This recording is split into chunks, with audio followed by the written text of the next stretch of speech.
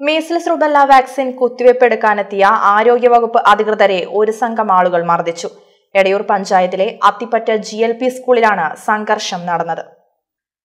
Athippatta G L P സ്കൂളിലെ വിദ്യാർത്ഥികൾക്ക് measles rubella vaccine എടുക്കാനെത്തിയ എടയൂർ ഗ്രാമപഞ്ചായത്തിലെ ആരോഗ്യവകുപ്പ് അധികൃതരെയാണ് ഒരു സംഘം ആളുകൾ മർദ്ദിച്ചത്. വാക്സിൻ എടുക്കുന്നതിനിടെ ഒരു സംഘം യുവാക്കളെത്തി നഴ്സിന്റെ കൈ പിടിച്ചു വലിക്കുകയും മൊബൈൽ ഫോൺ എറിഞ്ഞു പൊട്ടിക്കുകയും ചെയ്തു. പരിക്കേറ്റ എടയൂർ പ്രാഥമികാരോഗ്യ കേന്ദ്രത്തിലെ junior health nurse Shyamala Kuttippuram taluk ആശുപത്രിയിൽ ചികിത്സയിലാണ്. ഓഫീസിലേക്ക് വിളിച്ചപ്പോൾ ഞാൻ അങ്ങോട്ട് അപ്പം ഫോൺ വന്നപ്പോൾ ഞാൻ ഫോൺ എടുത്ത.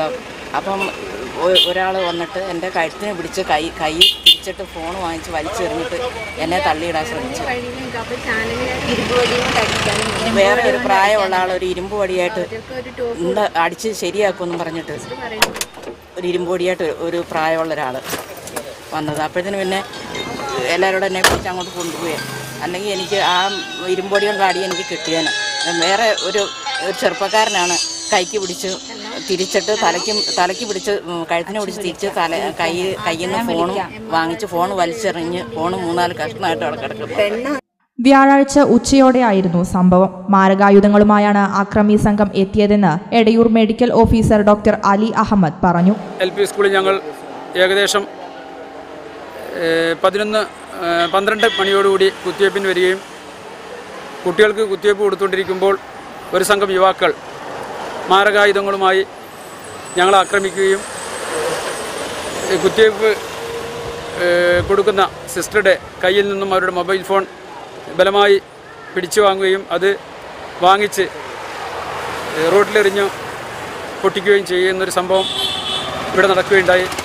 അപ്പോൾ ഈ കാര്യത്തിൽ ഞങ്ങൾ ഞങ്ങൾക്ക് പറയാനുള്ളത് ഇത്തരം വാക്സിൻ വിരുദ്ധരെ നിയമത്തിന് മുന്നിൽ കൊണ്ടുവന്ന് മാതൃകപരമായി ശിക്ഷ അവർക്ക് നൽകണമെന്ന അഭ്യർത്ഥന ഞങ്ങൾ ഞങ്ങൾക്കുണ്ട്. അപ്പോൾ ഇത്ത- ഇത്തരം വിവരങ്ങൾ ഞങ്ങൾ ഡി എം ഒയെ അറിയിച്ചിട്ടുണ്ട്. അപ്പോൾ ഡി എം ഒ ഇതിന് അനുകൂലമായിട്ടുള്ളൊരു പ്രതികരണമാണ് ഡി എം ഒയിൽ നിന്നുണ്ടായിട്ടുള്ളത്. അതേസമയം രക്ഷിതാക്കളുടെ അനുവാദമില്ലാതെയാണ് കുത്തിവെപ്പ് നടത്തിയതെന്ന് രക്ഷിതാക്കൾ ആരോപിച്ചു. കുട്ടിനെ ഉമ്മാനും വിളിച്ചു കൊടുത്താ.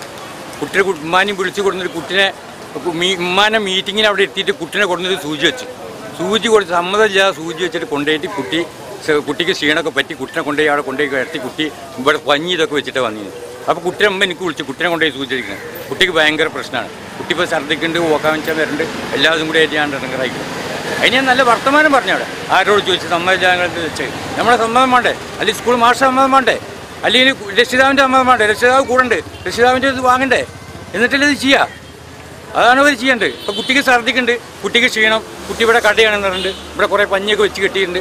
ഞാൻ കുട്ടീനെ കൊണ്ട് അഡ്മിറ്റ് എല്ലാം ഇപ്പോൾ ഇവിടെ ഉണ്ടായിട്ടില്ല. ഇവിടെ അങ്ങോട്ടും ഇങ്ങോട്ടും പ്രശ്നങ്ങളും സംസാരം ഉണ്ടായി. ഇത്രേ ഉണ്ടായിട്ടുള്ളൂ.